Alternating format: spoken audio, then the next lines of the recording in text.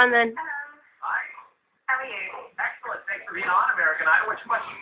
Um, my question is for Simon, Okay, go ahead. and I hope I'm not going to put you on the spot when I ask you this, Simon. is.